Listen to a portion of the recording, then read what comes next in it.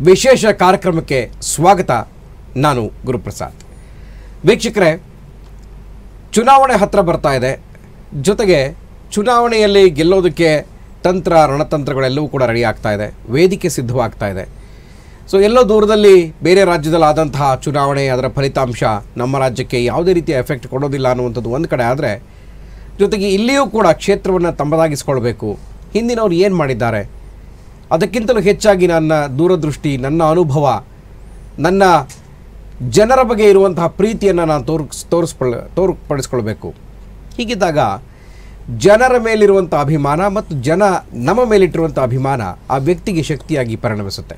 ಹಾಗಾಗಿ ತುಮಕೂರು ಜಿಲ್ಲೆಯಲ್ಲಿ ಒಟ್ಟು ಹನ್ನೊಂದು ಕ್ಷೇತ್ರಗಳಿದ್ದಾವೆ. ಆ ವಿಧಾನಸಭಾ ಕ್ಷೇತ್ರಗಳಲ್ಲಿ ಹನ್ನೊಂದಕ್ಕೆ ಹನ್ನೊಂದು ಕೂಡ ಒಂದು ಹೈ ವೋಲ್ಟೇಜ್ ಕ್ಷೇತ್ರಗಳೇನೆ. ನಾವು ಇವತ್ತು ತಿಪಟೂರು ವಿಧಾನಸಭಾ ಕ್ಷೇತ್ರದ ಕಾಂಗ್ರೆಸ್ ಆಕಾಂಕ್ಷಿಯಾಗಿರುವಂತಹ ಶ್ರೀತಾ ಲೋಕೇಶ್ವರ್ ಅವರನ್ನ ಮಾತನಾಡಿಸೋಣ. ಅವರು ಕೂಡ ಅಷ್ಟೇ ಅನುಭವಿ ಮತ್ತು ಮಾಜಿ ಪೊಲೀಸ್ ಅಧಿಕಾರಿಯಾಗಿದ್ದಂಥವರು ಜನರನ್ನು ಬಹಳ ಹತ್ತಿರದಿಂದ ಬಲ್ಲಂಥವರು ಅವರ ನೋವು, ನಲಿವುಗಳನ್ನು ಹತ್ತಿರದಿಂದ ನೋಡಿದಂಥವರು ಕೊರೋನಾ ಸಂದರ್ಭದಲ್ಲಿ ಸಾಕಷ್ಟು ಹತ್ತಿರದಿಂದ ಅವರಿಗೆ ಸಹಾಯ ಹಸ್ತವನ್ನು ಚಾಚಿದಂಥವರು ಈ ವ್ಯಕ್ತಿ ತಿಪಟೂರು ಕ್ಷೇತ್ರದ ಶಕ್ತಿ ಆಗಬಲ್ಲರೇ ಅದನ್ನು ಜನ ತೀರ್ಮಾನ ಮಾಡ್ತಾರೆ. ಹಾಗಾಗಿ ಜನ ಏನು ಹೇಳ್ತಾರೆ? ಅದಕ್ಕೂ ಮೊದಲು ಲೋಕೇಶ್ವರ್ ಅವರ ಮನಸ್ಸಿನಲ್ಲೇನಿದೆ? ಇದೆಲ್ಲವನ್ನು ಕೂಡ ಈ ಒಂದು ವಿಶೇಷ ಕಾರ್ಯಕ್ರಮದಲ್ಲಿ ಮಾತಾಡೋಣ. ಇದು ಇವತ್ತಿನ ವಿಶೇಷ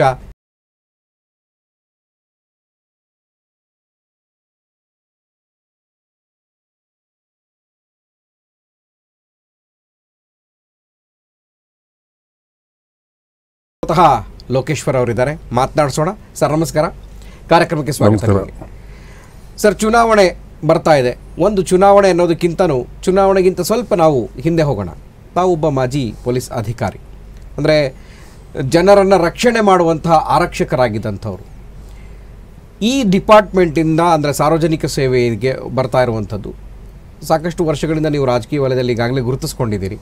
ಹಲವಾರು ಪಕ್ಷಗಳಲ್ಲೂ ಕೂಡ ನೀವು ಗುರುತಿಸ್ಕೊಂಡಿದ್ದೀರಿ. ಎಲ್ಲ ಘಟಾನುಘಟಿ ನಾಯಕರ ಒಂದು ಗೆಳೆತನ ನಿಮಗಿದೆ. ಏನನ್ಸುತ್ತೆ ನಿಮಗೆ ತಿಪಟೂರು ಕ್ಷೇತ್ರದವರೇ ಆಗಿ ಯಾಕೆ ನೀವು ಆ ಕ್ಷೇತ್ರವನ್ನು ಆಯ್ಕೆ ಮಾಡಿಕೊಂಡ್ರಿ? ದಿಢೀರಂತ ರಾಜಕೀಯಕ್ಕೆ ಬಂದಿದ್ದ ಅಥವಾ ಇಲ್ಲ ಸಮಾಜ ಸೇವೆ ಮಾಡಲೇಬೇಕು ಅನ್ನುವಂಥ ಆ ಒಂದು ಮನಸ್ಥಿತಿ ನಿಮ್ಗೆ ಅನಿಸಿದ್ದ ಹೇಗೆ ಅಂತ? ಮೊದಲನೇದಾಗಿ ನಾನು ಒಬ್ಬ ಸಾರ್ವಜನಿಕ ಸಂಪರ್ಕಕ್ಕೆ ಇದ್ದಂಥ ಒಂದು ವ್ಯವಸ್ಥೆಯಲ್ಲಿದ್ದವನು. ಅಂದರೆ ಪಬ್ಲಿಕ್ ಸರ್ವೆಂಟ್ ಆಗಿದ್ದವನು. ಸರ್ಕಾರಿ ನೌಕರ ಅಂದರೆ ಅಲ್ಲೂ ಸಾರ್ವಜನಿಕ ಸೇವೆಯನ್ನು ಮಾಡ್ಕೊಂಡಿದ್ದವನೇ. ಆ ಹಿನ್ನೆಲೆಯಲ್ಲಿ ಕ ಒಂದು ಎಂಟು ವರ್ಷ ಲೆಕ್ಚರರ್ ಆಗಿ ಇಪ್ಪತ್ತೆರಡು ವರ್ಷ ಪೊಲೀಸ್ ಅಧಿಕಾರಿಯಾಗಿ ಕಾಲ ಕಳೆದು ಮೂವತ್ತು ವರ್ಷ ನಾನು ಸೇವೆನ ಹೊರಗೆ ನನ್ನ ತಾಲೂಕಿಂದ ಹೊರಗಡೆ ನಿಂತ್ಕೊಂಡು ಜನಸೇವೆ ಮಾಡಿದ್ದೆ ನಾನು. ನನಗೂ ಒಂದು ಮೊದಲಿಂದನೂ ಈ ಸಮಾಜದ ಒಂದು ಕಷ್ಟಗಳಿಗೆ ಸ್ಪಂದಿಸಿ ಸಹಾಯ ಮಾಡಬೇಕು ಅನ್ನೋದು ನನ್ನ ತಂದೆ ತಾಯಿಗಳ ಒಂದು ಪ್ರಭಾವದಿಂದ ಚಿಕ್ಕ ಹುಡುಗನಿಂದಲೂ ರೂಢಿ ನನಗೆ. ಆ ಹಿನ್ನೆಲೆಯಲ್ಲೇ ನಾನು ಮಿಲ್ಟ್ರಿಗೆ ಹೋಗಿ ಪ್ರಯತ್ನ ಪಟ್ಟು ಏನೇನು ಆಯಿತು ಅದೆಲ್ಲ ಇತಿಹಾಸ ನಂದು. ಆಮೇಲೆ ನಾನು ಇದಕ್ಕೆ ಬಂದವನು. ಈ ಹಿನ್ನೆಲೆಯಲ್ಲಿ ಬಂದಿರೋದ್ರಿಂದ ನನಗೆ ಮೂವತ್ತು ವರ್ಷ ಆದಮೇಲೆ ಒಂದು ಗಾದೆ ಇದೆ ಮನೆ ಜನಗಳಲ್ಲಿದೆ. ಕತ್ತೆ ದುಡ್ದಂಗೆ ಮೂವತ್ತು ವರ್ಷ ದುಡಿಬೇಕು. ಆಮೇಲೆ ಸಮಾಜಕ್ಕೆ ಸಹಾಯ ಮಾಡೋಕೆ ಆಚೆಗೆ ಬರಬೇಕು ಅನ್ನೋದು ಒಂದು ಪ್ರತೀತಿ ಇದೆ. ಮತ್ತು ನಾನು ಆ ಯೋಚನೆ ಮಾಡಿ ಸರಿಯಾಗಿ ಆ ಟೈಮ್ಗೆ ಯಡಿಯೂರಪ್ಪ ಅವರು ಬಿ ಜೆ ಪಿಯಿಂದ ಹೊರಗೆ ಬರೋದು ಒಂದು ವಿಚಾರ ಆಗಿತ್ತು. ಎರಡು ಸಾವಿರದ ಹನ್ನೆರಡರಲ್ಲಿ. ಕೆ ಜೆ ಪಿ ಪಕ್ಷ ಕಟ್ಟೋದಕ್ಕೆ ಕಟ್ಟೋದಕ್ಕೆ ಅವ್ರು ಹೊರಗೆ ಬರೋದು ಅಂತ ವಿಚಾರ ಆಗಿತ್ತು. ದೊಡ್ಡ ಸಮಾವೇಶ ಕರೆಕ್ಟ್ ಆ ಹಿನ್ನೆಲೆಯಲ್ಲಿ ಏನು ಮಾಡಿದೆ? ಇದೇ ಸರಿಯಾದ ಸಮಯನ ಓಕೆ ಅವ್ರಿಗೂ ನನಗೆ ಒಡನಾಟ ಬೇರೆ ಇತ್ತು, ಚೆನ್ನಾಗಲ್ಲ. ಸೊ ಹಾಗಾಗಿ ಈ ನಮ್ಮ ಕ್ಷೇತ್ರದ ಶಾಸಕ ಅವತ್ತೇನಿದ್ದು ಮಾನ್ಯ ಈಗಿನ ಮಂತ್ರಿ, ಅವ್ರ ಹೆಸರು ಹೇಳ್ಕೊಂಡು ಎಂ ಎಲ್ ಎ ಆಗಿದ್ದರು ಯಾರಿಗೆ ಸಿ ಯಡಿಯೂರಪ್ಪ ಅವರು ಬೇಡ ಸಿ ಎಂ ಆಗೋದು ಅಂತ ಓಟ್ ಹಾಕಿದಂಥ ಸಂದರ್ಭದಲ್ಲಿ ಪಾರ್ಟಿ ಒಳಗಡೆ ಮೂರು ಜನ ಹಾಕಿದ್ರು. ಯಡಿಯೂರಪ್ಪನವ್ರು ಬೇಡ ಅಂತ. ಬೇಡ ಅಂತ. ಓಕೆ ಮೂರು ಜನ. ಆ ಮೂರು ಜನದಲ್ಲಿ ಇವನು ಒಬ್ಬ. ನಮ್ಮ ಹೌದು. ಓಕೆ ಅದನ್ನ ಬಹಿರಂಗವಾಗಿ ಯಡಿಯೂರಪ್ಪನವರು ಶೋಭಾ ಕರಂದ್ಲಾಜೆ ನಮ್ಮ ತಿಪ್ಟೂರು ದೊಡ್ಡ ಕಾರ್ಯಕ್ರಮದಲ್ಲಿ ಹೇಳಿದ್ರು. ಓಕೆ ಅಷ್ಟು ಅಸಮಾಧಾನ ಇತ್ತಾಗಿದ್ರೆ ಹೌದೌದು ಹೌದೌದೌದು ಇವ್ರು ಯಾವತ್ತೂ ಯಡಿಯೂರಪ್ಪವ್ರಿಗೆ ಓಟ್ಗೋಸ್ಕರ ಬಳಸ್ಕೊಂಡಿದ್ದು ಬಿಟ್ರೆ ಗೆಲ್ಲೋದಕ್ಕೋಸ್ಕರ. ಯಾವತ್ತೂ ಯಡಿಯೂರಪ್ಪರ ಪರ ಇವ್ರು ಇರಲಿಲ್ಲ. ಇವ್ರು ಅನಂತಕುಮಾರ್ ಬಣ ಇದು ಸರಿ ಅವಾಗ. ಓಕೆ ಸೊ ಆ ಹಿನ್ನೆಲೆಯಲ್ಲಿ ವಿಚಾರ ಇದ್ದಾಗ ನನಗೆ ಸ್ವಲ್ಪ ಅದು ಅಸಮಾಧಾನ ಇತ್ತು. ಮತ್ತು ಸಮಾಜಕ್ಕೆ ಎಂಟ್ರಾಗಿ ಸಹಾಯ ಮಾಡ್ಬೇಕು ನನ್ನ ತಾಲೂಕಿನ ಜನಕ್ಕೂ ಅನ್ನೋದಿದ್ದು ನನ್ನ ತಾಲೂಕಿಗೆ ನನ್ನ ಅಧಿಕಾರ ಇದ್ದಾಗ ಮಾಡ್ತಿದ್ದೆ. ಆದರೆ ಸಂಪೂರ್ಣ ತೊಡಗಿಸ್ಕೋಬೇಕು ತಾಲೂಕಿಗೆ ಅನ್ನೋದಿತ್ತು. ಆ ಒಂದು ಸಮಯ ನನಗೆ ಸರಿ ಅನ್ನಿಸ್ತು. ಓಕೆ. ಸೊ ಹಾಗಾಗಿ ನಾನು ವಾಲಂಟ್ರಿ ರಿಟೈರ್ ರಿಟೈರ್ಮೆಂಟ್ಗೆ ಅಪ್ಲೈ ಮಾಡಿ ಮಾನ್ಯ ಅಶೋಕ್ ಅವರೇ ಹೋಮ್ ಮಿನಿಸ್ಟರ್ ಇದ್ದರು ಅವರು ನನಗೆ ಪಾಪ ಹೇಳಿದ್ರು ಏನು ನಾವೆಲ್ಲ ಕಾಂಟೆಂಪ್ರರೀಸು ಅವರು ನಾನು ಖೋಖೋ ಯೂನಿವರ್ಸಿಟಿ ಆಡ್ಬೇಕಾದ್ರೆ ಕಬಡ್ಡಿ ಆಡೋರು. ಓಕೆ ವಿ ವಿ ಪುರಂ ಕಾಲೇಜಿಂದ. ಸರಿ ಸರಿ ಸರಿ ಸರ್ ಸೊ ನಾವೆಲ್ಲ ಕಾಂಟೆಂಪ್ರರೀಸ್ ಆ್ಯಕ್ಚುಲಿ ಸೊ ಅವ್ರು ಅಂದರು ಏನು ಯಾಕೆ ಹೋಗ್ತೀಯಾ ನಮ್ಮನ್ನ ಅಂತ ಹೇಳಿದ್ರು. ಏನೋ ಪ್ರಶ್ನೆ ಇದೆ ಯಡಿಯೂರಪ್ಪರ ಜೊತೆ ಇರ್ಬೇಕಂತ ಹೊರಟಿದ್ದೀನಿ ಸರ್ ಅಂತ ಹೇಳಿ ಅವತ್ತು ಹೊರಟೆ. ಓಕೆ. ಪಾಪ ಅವರು ಹೇಳಿದ್ರು ಇಲ್ಲಪ್ಪ ಇಷ್ಟು ದೊಡ್ಡ ಅಧಿಕಾರ ಬಿಟ್ಟು ಯಾಕೆ ಬರ್ತೀಯಾ? ರಾಜಕೀಯ ಅಷ್ಟು ಸುಲಭ ಅಲ್ಲ ಎಲ್ಲ ಹೇಳಿದ್ರು. ಬಟ್ ನನಗೆ ತೀರ್ಮಾನ ಅನಿಸ್ಬಿಟ್ಟಿತ್ತು. ಯಡಿಯೂರಪ್ಪರ್ದು ಓಟ್ ತಗೊಂಡು ಬಂದು ತಿರ್ಗಿ ಯಡಿಯೂರಪ್ಪರ್ಗೆ ಚಾಕು ಹಾಕ್ದ ಅನ್ನೋ ಪರಿಸ್ಥಿತಿ ಎಲ್ಲ ಮಾಡ್ದ ಇದು ಒಂದು ಸಂದರ್ಭನೇ ನಾನು ಅವ್ರಿಗೆ ಅವ್ರ ವಿರುದ್ಧನೇ ಈಗ ಮಾಡಬೇಕು ನಾನು ಅನ್ನೋದು ಒಂದು ಮನಸ್ಸು ಮತ್ತು ನನ್ನ ತಾಲೂಕಿಗೆ ಸೇವೆ ಮಾಡೋಕ್ಕೆ ಇದೇ ಸಂದರ್ಭ ದಾರಿ ಅಂತೇಳಿ ಆ ಎರಡೂ ವಿಚಾರಗಳು ಇಟ್ಕೊಂಡು ಬಂದು ಕೆ ಜೆ ಪಿ ಮೂಲಕ ರಾಜಕಾರಣನ ಕಟ್ಕೊಂಡೆ. ಓಕೆ ಸೊ ಅಲ್ಲಿಂದ ನಿಮ್ದು ಎಂಟ್ರ್. ಓಕೆ ಇದು ರೀಸನ್ ಓಕೆ ಸೊ ಈಗ ಈ ಈ ಈ ಬಾರಿಯ ಒಂದು ಚುನಾವಣೆ ನಾವು ನೀವು ಎರಡು ಸಾವಿರದ ಹನ್ನೆರಡರಲ್ಲಿ ರಾಜಕೀಯಕ್ಕೆ ಧುಮುಕ್ತೀರಿ. ಹನ್ನೆರಡರಿಂದ ಹದಿನೆಂಟು ಅಂದರೆ ಹದಿಮೂರರಲ್ಲಿ ಎಲೆಕ್ಷನ್ ಆಗುತ್ತೆ ಹದಿನೆಂಟರಲ್ಲಿ ಒಂದು ಎಲೆಕ್ಷನ್ ಆಗುತ್ತೆ ಸೊ ನಂತರ ಯಡಿಯೂರಪ್ಪನವರು ಸಿ ಎಂ ಆಗ್ತಾರೆ ಈಗಾಗಲೇ ಮೂರು ಬಾರಿ ಸಿ ಎಂ ಆಗಿದ್ದಂಥವ್ರು. ಬಿ ಜೆ ಪಿಯಲ್ಲಿ ಯಡಿಯೂರಪ್ಪನವರಿಗೆ ನಾನು ನಿಮ್ಮ ಅನಿಸಿಕೆಯನ್ನು ಕೇಳ್ತೀನಿ. ಬಿ ಜೆ ಪಿನಲ್ಲಿ ಯಡಿಯೂರಪ್ಪನವರಿಗೆ ಮೂರುವರೆ ವರ್ಷಕ್ಕೆ ಅಂದರೆ ಮಧ್ಯದಲ್ಲೇ ಅಧಿಕಾರದಿಂದ ಕೆಳಗಿಳಿಸಿದ್ದು. ಸರಿನಾ ತಪ್ಪ ಅಂತ? ನಾನು ನಿಜವಾದ ವಿಚಾರ ಹೇಳಲೇಬೇಕು ಅನ್ನೋದು ಸುಮಾರು ಸತ್ತಿದೆ ಅದು ಅವಾಯ್ಡ್ ಮಾಡ್ಕೊಂಡೇ ಬಂದಿದ್ದೀನಿ ಸುಮಾರು. ಓಕೆ. ಯಡಿಯೂರಪ್ಪ ಅವ್ರನ್ನ ಅಧಿಕಾರ ಹಿಡಿಯೋಕ್ಕೆ ಒಬ್ಬ ಪ್ರಬಲ ಜಾತಿಯ ವ್ಯಕ್ತಿ ಬೇಕಿತ್ತು ಈ ಪಕ್ಷಕ್ಕೆ. ಬಿ ಜೆ ಪಿಗೆ ಬಿ ಜೆ ಪಿಗೆ ಆ ಹಿನ್ನೆಲೆಯಲ್ಲಿ ಅವತ್ತು ಯಡಿಯೂರಪ್ಪರನ್ನ ಮುಂದೆ ಬಿಟ್ಟು ಮಾಡಿಸಿದ್ರು. ಅದಕ್ಕೆ ಮೊದಲು ಮಲ್ಲಿಕಾರ್ಜುನಯ್ಯ ಅವರು ಹ್ಞೂ ಹ್ಞೂ ಹ್ಞೂ ಮಲ್ಲಿಕಾರ್ಜುನಯ್ಯ ಅವರು ಮಲ್ಲಿಕಾರ್ಜುನಯ್ಯನವರು ಪ್ರಬಲವಾಗಿ ಇದ್ದರು ಎಲ್ಲ ಎಲ್ಲ ಸಮಾಜದವ್ರ ಜೊತೆ. ಮತ್ತೆ ರಾಜ್ಯದ ಮೂಲೆ ಮೂಲೆಗೂ ಅವತ್ತಿನ ಕಾಲದಲ್ಲೇ ಮಲ್ಲಿಕಾರ್ಜುನಯ್ಯರು ಪರಿಚಯ ಹೌದೌದು ಪರಿಚಯ ಇದ್ರು.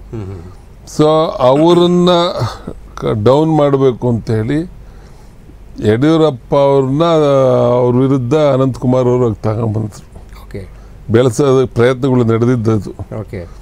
ಹಾಗಾಗಿ ಮಲ್ಲಿಕಾರ್ಜುನ ಮಲ್ಲಿಕಾರ್ಜುನಯ್ಯರು ಡೆಪ್ಟಿ ಸ್ಪೀಕರ್ ಆಗಿದ್ರು ಫಸ್ಟ್ ಎಂ ಪಿ ಆಗಿದ್ದಾಗ ನರಸಿಂಹರಾವ್ ಕಾಲದಲ್ಲಿ. ಹೌದು. M C prime minister. ಲೋಕಸಭೆಯಲ್ಲಿ ಸೆಕೆಂಡ್ ಟೈಮು ವಾಜಪೇಯಿ ಸರ್ಕಾರ ಬರುತ್ತೆ ಅನ್ನೋ ಮಾಹಿತಿ ಒಂದು ಐ ಬಿ ರಿಪೋರ್ಟಲ್ಲಿ ಆಗ್ಬಿಡುತ್ತೆ. ಅವಾಗ ಮಲ್ಲಿಕಾರ್ಜುನ ಆವಾಗ ಮಲ್ಲಿಕಾರ್ಜುನಯ್ಯರು ಮತ್ತೆ ಗೆದ್ದರೆ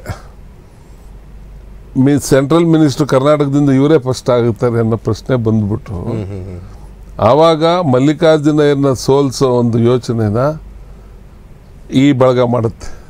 ಓಕೆ. ನಾನು ಅವಾಗ ಗೌರಿಬಿದ್ನೂರು ಇನ್ಸ್ಪೆಕ್ಟರ್ ನಾನು. ಓಕೆ. ನನಗೆ ನಾನು ರೆಗ್ಯುಲರ್ ಮಲ್ಲಿಕ ಅವ್ರ ಜೊತೆಲಿ ಇದ್ದವನೇ ನಾನು. ಎಂಬತ್ಮೂರರಿಂದ. ಎಂಬತ್ತ್ಮೂರರಿಂದ ಓಕೆ. ಅದೆಲ್ಲ ಪ್ರತಿಯೊಬ್ಬರಿಗೂ ಗೊತ್ತು. ರೈಟ್. ಸೊ ಆವಾಗ ಇವರು ಮಿಸ್ಟರ್ ನಾಗೇಶು ಡಿಸ್ಟಿಕ್ ಸೆಕ್ರೆಟ್ರಿ ಇಲ್ಲಿಗೆ. ಓಕೆ. ಇವ್ರನ್ನ ನಂಬ್ಕೊಂಡು ಚುನಾವಣೆಗೆ ಮಲ್ಲಿಕ್ ಅವರು ಕೂತಿದ್ರು ಪಾಪ. ಓಕೆ. ಈತನಿಗೆ ಗುಬ್ಬಿ ಚಿಕ್ಕನಾಗ್ನಲ್ಲಿ ಎಲ್ಲ ಇನ್ಚಾರ್ಜ್ ಇತ್ತಾಯ್ತ ನನಗೆ ಹಳ್ಳಿ ಹಳ್ಳಿನೂ ನೆಂಟರು ಗುಬ್ಬಿ ಚಿಕ್ಕನಾಗ್ನಲ್ಲಿ ಎಲ್ಲ. ಅಲ್ಲಿ ನನಗೆ ಫೋನ್ ಮಾಡೋರು ನಮ್ಮ ಹಳ್ಳಿಗೆ ಬಿ ಜೆ ಪಿಯವ್ರು ಕ್ಯಾನ್ವಾಸ್ಗೆ ಬಂದಿಲ್ಲ ಅಂತ. ವ್ಯವಸ್ಥಿತವಾಗಿ ಮಲ್ಲಿಕಾರ್ಜುನಯ್ಯವ್ರನ್ನ ಸೆಕೆಂಡ್ ಟೈಮ್ ಸೋಲಿಸ್ತಾರೆ. ಇದು ಈ ಈ ಬಳಗ ಇದೇ ಬಳಗನೇ. ಸೊ ಆವಾಗ ಅನಂತಕುಮಾರ್ ಮಿನಿಸ್ಟರ್ ಆಗಕ್ಕೆ ಅವಕಾಶ ಆಗುತ್ತೆ ಅಲ್ಲಿ. ಇದು ನಾನು ನಾನು ಜೊತೆಲಿದ್ದು ನನಗೆ ಗೊತ್ತು ಕತೆ ಇದು. ರೈಟ್ ಆಮೇಲೆ ಯಡಿಯೂರಪ್ಪ ಅವ್ರನ್ನ ಮುಂದಿಟ್ಕೊಂಡು ಯಡಿಯೂರಪ್ಪ ಅವರು ಮತ್ತು ಅರವಿಂದ್ ಲಿಂಬಾವಳಿ. ಅವರನ್ನ ಜೊತೆಲಿಟ್ಕೊಂಡು ಜೊತೆಲಿ ಇಟ್ಕೊಂಡು ಒಬ್ಬ ದಲಿತರ ಒಬ್ಬ ಮುಂದುವರೆದ ಜನಾಂಗ ಇಟ್ಕೊಂಡು ಜನಾಂಗ. ನಿಟ್ಕೊಂಡು ರಾಜಕೀಯ ಶುರುವಾಗುತ್ತೆ. ಸೆಕ್ರೆಟರಿ ಜನರಲ್ ಸೆಕ್ರೆಟರಿ ಸ್ಟೇಟ್ಗೆ ಇವರು. ಯಡಿಯೂರಪ್ಪನ ಅಧ್ಯಕ್ಷರು. ಎಸ್ ಆ ಇದರಲ್ಲಿ ಪ್ರಾರಂಭ ಆಗಿದ್ದು ಬಳಸ್ಕೊಳಕ್ಕೆ ಸಮಾಜನ ಪಕ್ಷಕ್ಕೆ ಬೆಳೆಸೋಕ್ಕೋಸ್ಕರ ಸಮಾಜನ ಮುಂದಿಕ್ತಾರೆ. ಗೆಲ್ಲೋದಕ್ಕೆ ಒಂದು ಮುಖವಾಣಿ ಬೇಕಾಗಿತ್ತು. ಅದು ಮಾಡ್ತಾ ಬಂದ್ರು ಬಳಸ್ಕೊಂಡ್ರು ಅದೇ ರೀತಿಲಿ ಯಡಿಯೂರಪ್ಪ ಅವ್ರನ್ನೂ ತಂದರು ಯಡಿಯೂರಪ್ಪನ ನಾಲ್ಕು ಸತಿ ಐದು ಸತಿ ಅಂತ ನಾವೆಲ್ಲ ಹೇಳ್ತಾರೆ. ಯಾಕೆಂದ್ರೆ ಬೇರೆ ಫೇಸ್ ಇಲ್ಲ ಅಲ್ಲಿ. ನಿಜ ನಿಜ. ಯಾವುದು ಫೇಸ್ ಇರಲಿಲ್ಲ. ಪಾರ್ಟಿ ಮಾಡಕ್ಕೆ ಬೇರೆ ಯಾವ ಫೇಸ್ ಇಲ್ಲ. ಈಗ ಎಲ್ಲರೂ ನಾವು ಸಾಮೂಹಿಕ ಅದು ಇದು ಅಂತ ಏನೇನೋ ಹೇಳ್ಕೊಂತಾರೆ. ಅಲ್ಲಿ ಯಡಿಯೂರಪ್ಪ ಅವ್ರು ಬಿಟ್ರೆ ಬೇರೆ ಫೇಸ್ ಇಲ್ಲ. ಇವತ್ತಿಗೂ ಅದೇ ಪರಿಸ್ಥಿತಿ ಹೇಳ್ತೀನಿ. ರೈಟ್ ಆ ಯಡಿಯೂರಪ್ಪ ಅವರು ಇಲ್ಲದ ಮುಂದಿಟ್ಕೊಳಕ್ಕೋಸ್ಕರ ತರ್ತಾರೆ. ಆಮೇಲೆ ವ್ಯವಸ್ಥಿತವಾಗಿ ಅವ್ರ ಮೇಲೆ ಗೂಬೆ ಕುಣ್ಸೋಕೆ ಶುರುವಾಗುತ್ತೆ. ಎಲ್ಲಿವರೆಗೂ ಹೋಗುತ್ತೆ ಅಂದರೆ ಯಡಿಯೂರಪ್ಪ ಅವ್ರನ್ನ ಜೈಲಿಗೆ ಕಳಿಸುವಂಥ ವಿಚಾರ ವ್ಯವಸ್ಥಿತವಾಗಿ ಪ್ಲ್ಯಾನ್ ಆಗುತ್ತೆ. ಓಕೆ ಇಂದುಲ್ ದಿವಸನೇ ಯಾವ ಜಡ್ಜು ಬೆಳಗ್ಗೆ ಕೋರ್ಟಿಗೆ ಅಪಿಯರ್ ಆದಾಗ ಜೈಲಿಗೆ ಕಳಿಸ್ಬೇಕು ಅಂತ ಮೊದಲೇ ಯೋಚನೆ ಆಗಿತ್ತು. ಇಂದುಲ್ ದಿವಸನೇ ಪಕ್ಕದ ಮನೆಯ ಜಡ್ಜ್ ಮನೆಯಲ್ಲಿ ಅವ್ರ ಮೊಬೈಲ್ ಇಸ್ಕೊಂಡು A D G P law and order A D G P Lokayukta. ಇಬ್ಬರಿಗೂ ಫೋನ್ ಮಾಡಿ. ಸಮನ್ಸ್ ಕೇಸ್ ಅದು. P C R summons case ಅದು. ಬರ್ಬೋದು ಅಥವಾ ಇನ್ನೊಂದು ಡೇಟ್ ಹಾಕ್ಬೋದು. ಆಗ್ತಿದ್ರೆ ಇನ್ನೊಂದು ದಿವಸ ಕೊಟ್ಟು ಕಳಿಸ್ಬೋದು. ಅದನ್ನು ವ್ಯವಸ್ಥಿತವಾಗಿ ಶನಿವಾರ ಡೇಟ್ ಹಾಕಿರ್ತಾರೆ. ಅವತ್ತೇ ಬರೆದಿದ್ರೆ ಅಪಿಯರ್ ಆಗದಿದ್ರೆ ಯಡಿಯೂರಪ್ಪರು ಒಂದು ಗಂಟೆಯಲ್ಲಿ ವಾರಂಟ್ ಇಶ್ಯೂ ಮಾಡ್ತೀನಿ. ಮಾಡ್ತೀನಿ. ನೀವು ಅವ್ರನ್ನ ಪ್ರೊಡ್ಯೂಸ್ ಮಾಡಲೇಬೇಕು ಅಂತ ಜಡ್ಜ್ ಅವ್ರಿಗೆ ಇನ್ಸಿಸ್ಟ್ ಮಾಡ್ತಾರೆ. ಓಕೆ ಹಿಂದಿಲ್ ರಾತ್ರಿ. ಸೊ ಇದೆಲ್ಲ ಪ್ರೀ ಪ್ಲಾನ್ಡ್ ಆಗಿದೆ ಹಂಡ್ರೆಡ್ ಪರ್ಸೆಂಟು. ಓಕೆ ನನಗೆ ಯಡಿಯೂರಪ್ಪನವ್ರನ್ನ ಡಿನೋಟಿಫಿಕೇಶನ್ ಕೇಸ್ನಲ್ಲಿ ಸಿಕ್ಕಾಕ್ಸೋದು ಅನ್ನುವಂಥದ್ದು ಕೂಡ ಒಂದು ಚಕ್ರವ್ಯೂಹನ ಅಲ್ಲ ನಾನೇ ಇದನ್ನೆಲ್ಲ ವಿಟ್ನೆಸ್ಸು ಓಕೆ ರಾತ್ರಿ ಹನ್ನೊಂದು ಮುಕ್ಕಾಲ್ಗೆ ಆ ಜಡ್ಜ್ ಯಾರಿದ್ದಾರೆ ಅವರು ನನ್ನ ಆತ್ಮೀಯರು. ನನ್ನ ಜೊತೆಲಿ ಕೆಲಸ ಮಾಡ್ತಾನೆ. ಅವರು ಬಂದರು ಒಬ್ಬ ಮುಸಲ್ಮಾನ್. ತಮ್ಗೆ ಹೇಳ್ತಾ ಇದ್ದೀನಿ ಕೇಳಿ. ಇವತ್ತು ಮುಸಲ್ಮಾನರು ವಿರೋಧ ಮಾಡ್ತಾರೆ ಇವರು ಮುಸಲ್ಮಾನರ ಬಗ್ಗೆ ಅದಿದ್ದು ಮಾತಾಡ್ತಾರೆ. ಆ ಒಬ್ಬ ಮುಸಲ್ಮಾನ್ ಜಡ್ಜು ನನಗೆ ಫೋನ್ ಮಾಡ್ತಾರೆ ನಾಳೆ ಯಡಿಯೂರಪ್ಪ ಅವ್ರನ್ನ ಕೋರ್ಟ್ಗೆ ಹೋಗಬೇಡಿ ಅಂತ ಹೇಳಿ. ಓಕೆ. ನಮ್ಮ ಮೊಬೈಲ್ ಇಸ್ಕೊಂಡು ಈ ಥರ ಎಲ್ಲ ವಿಚಾರ ಆಗಿದೆ. ಪಿ ಸಿ ಆರ್ ಕೇಸಲ್ಲಿ ಒಂದು ಸಮನ್ಸ್ ಕೇಸಲ್ಲಿ ಒಬ್ಬ ಸೆಷನ್ ಜಡ್ಜು ಈ ಮಟ್ಟದ ಇನ್ಸ್ಟ್ರಕ್ಷನ್ನು ಎ ಡಿ ಜಿಗಳಿಗೆ ಯಾಕೆ ಕೊಟ್ಟರು ಅನ್ನೋದು ಪ್ರಶ್ನೆ ಆಗುತ್ತೆ. ನಾಳೆ ಎನಿ ಕಾಸ್ಟ್ ಯಡಿಯೂರಪ್ಪನ ಪ್ರೊಡ್ಯೂಸ್ ಮಾಡಲೇಬೇಕು ಅಂತ. ಓಕೆ ಅದು ಸಮನ್ಸ್ ಕೇಸಲ್ಲಿ ರೈಟ್ ಅವಲೇ ವಾರಂಟ್ ಇಶ್ಯೂ ಮಾಡ್ತೀನಿ ನೀವು ಅವಲೇ ಹಿಡ್ಕೊಂಬಂದು ಪ್ರೊಡ್ಯೂಸ್ ಮಾಡ್ಬೇಕಂತ. ಓಕೆ ಸೊ ಇದು ಇನ್ಸ್ಟ್ರಕ್ಷನ್ ಗೊತ್ತಾಗಿ ಅವ್ರು ನನಗೆ ಅಪಿಯರ್ ಆಗಬೇಡಿ ಅಂತ ಹೇಳಿದ್ರು. ನಾನು ಇನ್ನು ಅರ್ಧ ಹೊತ್ತಲ್ಲಿ ಹೇಳಿದ್ರೆ ಸರಿಯಾಗಲ್ಲ ಅಂತ ಬೆಳಗ್ಗೆ ಐದು ಗಂಟೆಗೆ ಎದ್ದೋದೆ. ಎದ್ದೋಗಿ ಸಾಹೇಬ್ರಿಗೆ ಬರೆಸಿ ವಿಚಾರಗಳೆಲ್ಲ ತಿಳಿದು ಇದೆಲ್ಲ ಚರ್ಚೆ ಆಗಿ ಹತ್ತು ಗಂಟೆ ಅಷ್ಟೊತ್ತಿಗೆ ತಿರ್ಗಾ ಒಂದು ಲಾಯರ್, ಸೀನಿಯರ್ ಲಾಯರ್ಸ್ ಇನ್ಯಾರು ಕನ್ಸಲ್ಟ್ ಮಾಡಿ ಏನೋ ಹೋಗೋದೋ ಬಿಡೋದು ತೀರ್ಮಾನಕ್ಕೆ ಬಂದು ನಾನು ಹೋಗಬೇಡಿ ಸರ್ ಅಂತ ಸ್ನಾನ ಮಾಡಿ ಬರೋ ಅಷ್ಟೊತ್ತಿಗೆ ಹೊರಟು ಬಿಟ್ಟಿದ್ರು ಹೊರಟ್ರೆ ನಾವಿನ್ನೇನು ದೊಡ್ಡವ್ರು ಅವ್ರೇನು ತೀರ್ಮಾನ ಮಾಡಿದ್ರು ಅವ್ರು ಏನು ಅಂತ ನಾವೇನು ತಲೆ ಕೆಡ್ಸ್ಕೊಳಕ್ಕೆ ಏನು ಅನ್ಕೊಂಡಿದ್ವೋ ಅದೇ ನಡೀತು. ಸಮನ್ಸ್ ಕೇಸಲ್ಲಿ ಹದಿಮೂರು ಜನಕ್ಕೆ ರಿಲೀಸ್ ಮಾಡಿ ಹದಿನಾಲ್ಕನೇವ್ರು ಒಬ್ಬರು ಯಡಿಯೂರಪ್ಪರೊಬ್ಬರನ್ನೇ ಜೈಲಿಗೆ ಕಳಿಸ್ತಾರೆ. ಎಲ್ಲರಿಗೂ ಬೇಲ್ ಕೊಡ್ತಾರೆ. ರೈಟ್. ಸೊ ಇದು ವ್ಯವಸ್ಥಿತವಾದದ್ದು ಅನ್ನುವಂಥದ್ದು. Hundred percent. ಎಸ್ ಸರ್ ಮಾತಾಡ್ತೀನಿ ತಮ್ಮ ಜೊತೆ. ವೀಕ್ಷಕರೇ ಒಬ್ಬ ಪ್ರಭಾವಿ ನಾಯಕನ ಜೈಲಿಗೆ ಹೋದಂತಹ ಕಥೆಯ ರಹಸ್ಯವನ್ನು ಕೂಡ ನೀವು ಕೇಳಿದ್ರಿ ಲೋಕೇಶ್ವರ್ ಅವರಿಂದ. ಯಾಕೆಂದರೆ ಅವರು ಆ ಸಂದರ್ಭದಲ್ಲಿ ಸೇವೆಯನ್ನು ಮಾಡ್ತಾ ಇದ್ದಂಥವ್ರು. ಸೊ ಅವರಿಗೆ ಈ ವೃತ್ತಾಂತಗಳಲ್ಲೂ ಕೂಡ ಗೊತ್ತಿದೆ. ಮತ್ತಷ್ಟು ನಾನು ನನ್ನ ಮಾತನ್ನು ಮುಂದುವರಿಸ್ತೀನಿ. ಸರ್, ಬಹಳ ಕುತೂಹಲ ಇತ್ತು ನೀವು ಹೇಳಿದಂತಹ ಮಾತು. ಯಡಿಯೂರಪ್ಪನವರ ಆ ಒಂದು ಕಪ್ಪು ಚುಕ್ಕಿಯನ್ನು ಇಟ್ಕೊಂಡು ಅನೇಕರು ಅವರನ್ನು ಆಡಿಕೊಂಡಿದ್ದು ಬಹಳ. ಯಡಿಯೂರಪ್ಪನವರು ಖಳನಾಯಕರ ಹಾಗೆ ಬಿಂಬಿಸಿದ್ದಂತಹದ್ದು ಬಹಳ ಆಯಿತು. ಅಂದರೆ ಯಡಿಯೂರಪ್ಪನವರದ ಬೇಕಂತಲೇ ಅವರನ್ನ ವ್ಯೂಹಕ್ಕೆ ಸಿಕ್ಕಾಕ್ಸಿ ಯಡಿಯೂರಪ್ಪ ಇಂಥ ಇಂಥವರು ಅನ್ನುವಂಥದ್ದನ್ನು ತೋರಿಸ್ಬೇಕಾಗಿತ್ತು ಜನರಿಗೆ. ಯಾಕೆ ಯಡಿಯೂರಪ್ಪನವ್ರ ಮೇಲೆ ಯಾಕೆ ಅಷ್ಟೊಂದು ದ್ವೇಷ ಬಂದಿದ್ದು ಅಂತ? ಯಡಿಯೂರಪ್ಪ ಅವ್ರದ್ದು ಒಂದು ಸಾಹಸ ನಾನು ನೋಡಿದ್ದು ಅವ್ರನ್ನ ನಾನು ಮಲ್ಲಿಕಾರ್ಜುನ ಅವ್ರನ್ನ ನಂತರ ಅವರ ಒಂದು ಪ್ರಭಾವಕ್ಕೊಳಗಾಗ ಕಾರಣ ಏನಂದರೆ ಎಲ್ಲರನ್ನೂ ಪ್ರೀತಿಸ್ತಿದ್ರು ಅವರು. ಮನಸ್ಸಲ್ಲಿ ದ್ವೇಷ ಕಡಿಮೆ ಎಲ್ಲರ ಮೇಲೂ. ಓಕೆ. ನಾನು ನೋಡಿದ್ದು ಇವ್ರನ್ನ ಮಲ್ಲಿಕಾರ್ಜುನ ಮತ್ತು ಯಡಿಯೂರಪ್ಪರಲ್ಲಿ ನೋಡಿದ್ದು. ಮತ್ತು ಯಾವುದೇ ಜಾತಿ ಧರ್ಮದ ಬಗ್ಗೆ ಅವ್ರಿಗೆ ಅಷ್ಟೊಂದು ಡಿಫ್ರೆನ್ಸಸ್ಸನ್ನು ಮಾಡ್ತಿರಲಿಲ್ಲ. ಎಲ್ಲರನ್ನೂ ಇಷ್ಟಪಡೋರು. ಎಲ್ಲರಿಗೂ ಸಹಾಯ ಮಾಡೋರು. ಅವ್ರು ಯಾವಾಗಲೂ ಅಷ್ಟೇ ಯಡಿ ಯಡಿಯೂರಪ್ಪರು ಕ್ಷೇತ್ರದಲ್ಲೂ ನನಗೆ ಗೊತ್ತಿದೆ. ಅಲ್ಲಿ ಕೌನ್ಸಿಲರ್ಸ್ ಬಿ ಜೆ ಪಿಯಿಂದ ಮುಸ್ಲಿಮರೇ ಗೆಲ್ತಾರೆ. ಜಿಲ್ಲಾ ಪಂಚಾಯತಿ ಮೆಂಬರು ಮುಸ್ಲಿಮರು ಬಿ ಜೆ ಪಿಯಿಂದ ಗೆಲ್ತಾರೆ ಸೊ ಆ ಥರ ಒಂದು ವ್ಯವಸ್ಥೆನ ಅವರು ಬೆಳೆಸ್ಕೊಂಡಿದ್ರು. ಒಂದು ರಿಯಲ್ ಸೆಕ್ಯುಲರ್ ಮ್ಯಾನ್ ಸೊ ಅದು ನಮಗೆಲ್ಲ ಇಷ್ಟ ಆಯ್ತು ಅವ್ರ ಬಗ್ಗೆ.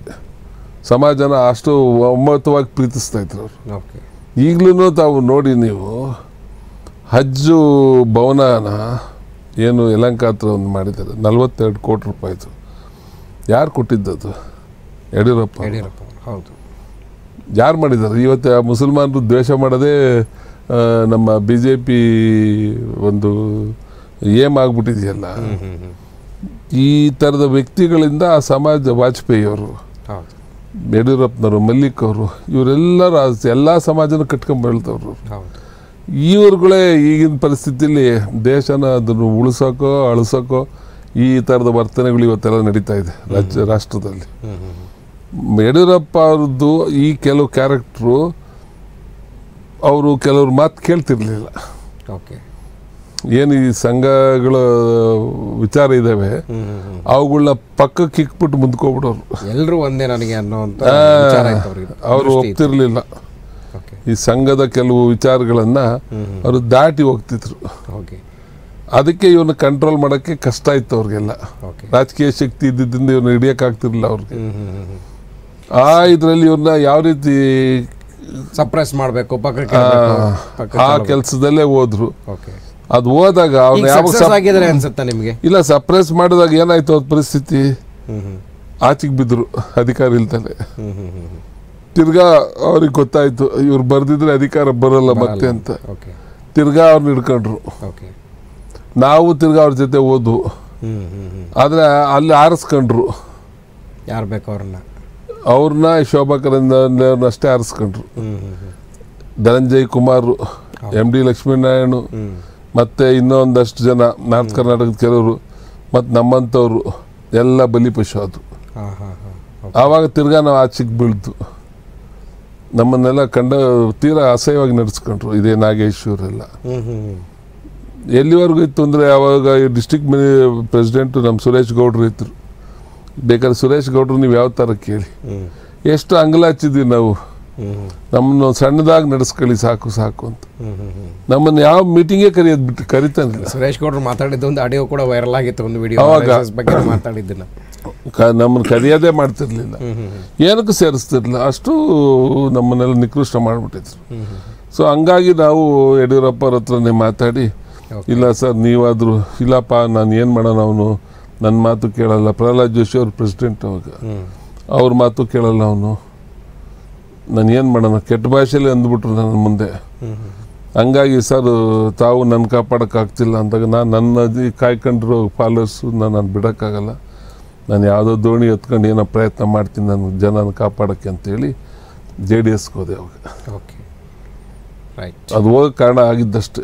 ಓಕೆ ನಾನು ಯಡಿಯೂರಪ್ಪರನ್ನಾಗಲಿ ಅವ್ರನ್ನ ಬಿಟ್ಟು ಹೋಗಕ್ಕೆ ಇಷ್ಟ ಇರಲಿಲ್ಲ ನನಗೆ.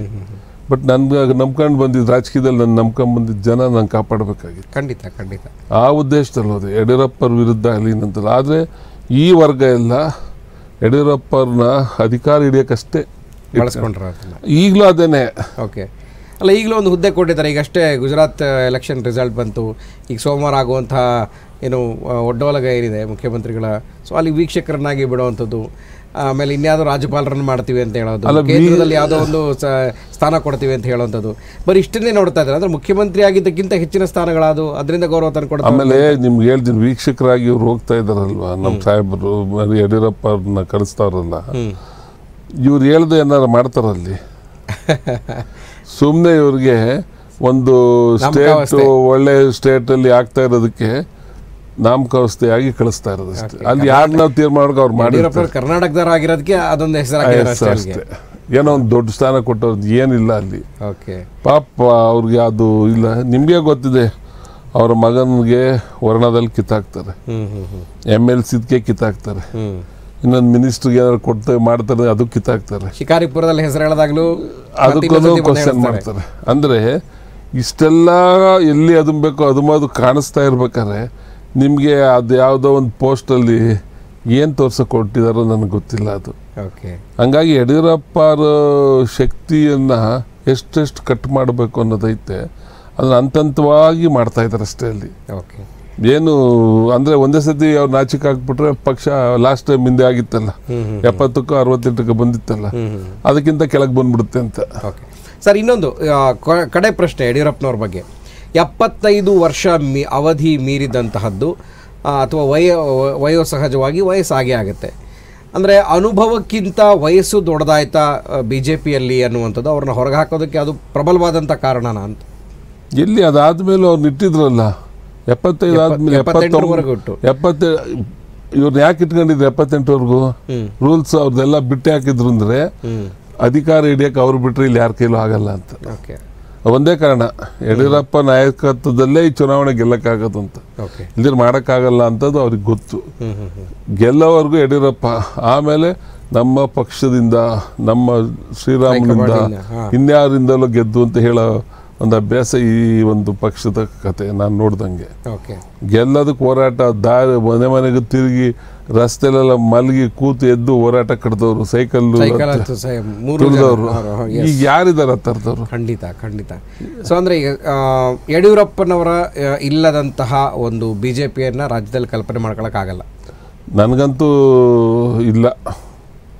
ಆ ಒಂದು ಕ್ಯಾಲಿಬರ್ ಕ್ಯಾಂಡಿಡೇಟ್ಗಳು ಎಲ್ಲೂ ಕಾಣ್ತಿಲ್ಲ. ಓಕೆ. ಸರ್ ಈಗ ನೀವು ಜೆ ಡಿ ಎಸ್ಸಿಗೆ ಹೋದ್ರಿ ಕೆ ಜೆ ಪಿಯಿಂದ ಯಾವುದೋ ಒಂದು ದೋಣಿನ ಹತ್ಕೊಂಡು ಹೋಗೋದಕ್ಕೆ ಅಂತ ಹೋದ್ರಿ. ಜೆ ಡಿ ಎಸ್ ದೋಣಿ ಅಲ್ಲಿಂದ ಹೊರಗಡೆ ಬಂದಿದ್ದು ಯಾಕೆ? ಇಲ್ಲ ಜೆ ಡಿ ಎಸ್ ಅಲ್ಲಿ ಕುಮಾರಸ್ವಾಮಿ ಅವರು ದೇವೇಗೌಡರು ಪಾಪ ಗೌರವದಿಂದನೇ ಕಂಡ್ರು ನಾನು ಹೋದಾಗ. ಅದರಲ್ಲಿ ಏನು ಎರಡು ಮಾತಿಲ್ಲ. ಮತ್ತು ಯಾವುದೇ ತಕರಾರು ಇಲ್ದಂಗೆ ನನ್ನನ್ನು ಅಭ್ಯರ್ಥಿ ಮಾಡಿದ್ದು ಅದೆಲ್ಲ ಆಯಿತು. ಆದರೆ ನನಗೇನಾಯಿತು ಅಂದರೆ ಚುನಾವಣೆ ಸಂದರ್ಭದಲ್ಲಿ ಅವರು ಸಮಾನಾಂತರವಾಗಿ ನೋಡಲಿಲ್ಲ. ಓಕೆ ಕ್ಯಾನ್ವಾಸ್ಗೆ ಬರಲಿಲ್ಲ ಚುನಾವಣೆ ಸಮಯದಲ್ಲಿ ಓಕೆ ಹೊಡೆತ ಬಿಡುತ್ತೆ ಅದು. ನನಗೆ ಬೇರೆ ಅರ್ಥಗಳನ್ನು ತಂದುಬಿಡ್ತು ನನಗೆ. ಓಕೆ ಅದು ನನಗೆ ಕಷ್ಟ ಆಗ್ಬಿಡ್ತು. ಅವ್ರು ನಾನೇನು ಅವ್ರ ಹತ್ರ ಯಾವುದೇ ರೀತಿ ಸಹಾಯನೂ ನಾನು ಪಡ್ಕೊಂಡಿಲ್ಲ.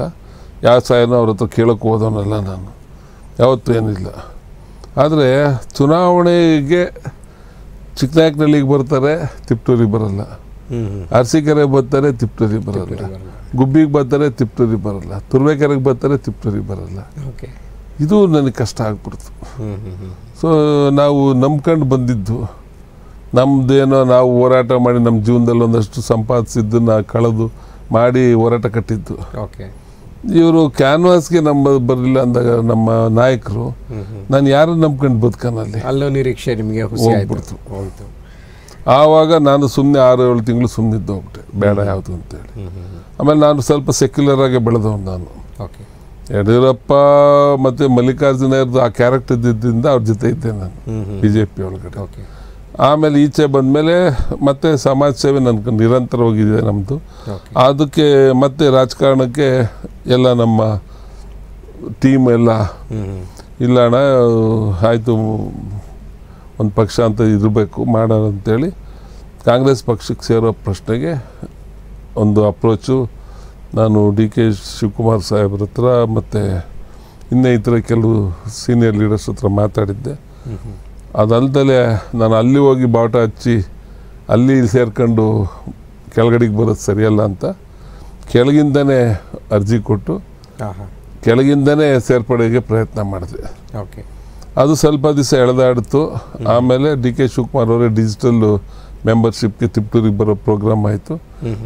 ನೀವು ಅಲ್ಲೇ ಬಂದ್ಬಿಡಿ ಇಲ್ಲೇ ಸೇರ್ಕೊಂಬಿಡಿ ತಿಪ್ಟೂರೊಳಗೆ ಅಂತೇಳಿ ತಿಪ್ಟೂರಲ್ಲಿ ಎಲ್ಲರ ಸಮಕ್ಷಮ ಸೇರ್ಪಡೆ ಆದೆ ಓಕೆ. ಸೊ ಹಾಗೆ ಅಲ್ಲಿಂದ ಜೊತೆಲೇ ಹೋಗ್ತಾ ಇದ್ದೀವಿ ಈಗ. ಷಡಾಕ್ಷರಿ ಅವರು ಸೀನಿಯರು ನಮ್ಮ ಅಣ್ಣ ಅವ್ರ ಜೊತೆ ಇಪ್ಪತ್ತೈದು ವರ್ಷ ಜೊತೆಲಿ ಕೆಲಸ ಮಾಡಿದಾನೆ ಪಾರ್ಟಿಗೆ. ಓಕೆ ನಮ್ಮ ಅಣ್ಣನ ಅವ್ರ ಜೊತೆ ಇದ್ದಾಗ ವೈಸ್ ಪ್ರೆಸಿಡೆಂಟ್ ಆಫ್ ಮುನ್ಸಿಪಾಲ್ಟಿ ಎಲ್ಲ ಆಗಿದ್ದವನೇ. ಸೊ ನಮಗೂ ಅವ್ರಿಗೆ ಅಂಡರ್ಸ್ಟ್ಯಾಂಡಿಂಗ್ ಇದೆ ಮತ್ತು ಬಂಧುತ್ವನೂ ಇದೆ. ಓಕೆ ಸೊ ಅವರು ಫಸ್ಟು ಎಂ ಎಲ್ ಎ ಆಗ್ಬೇಕಾದ್ರೆ ನಾವು ನಮ್ಮ ಕುಟುಂಬ ಎಲ್ಲ ಹೋರಾಟನ ಮಾಡಿತ್ತು ಅವ್ರ ಪರವಾಗೂ ಸೊ ಈ ಹೊಂದಾಣಿಕೆ ಇತ್ತಲ್ಲ ಈಗ ಆ ರೀತಿಯಲ್ಲೇ ಹೋಗ್ತಾ ಇದೆ.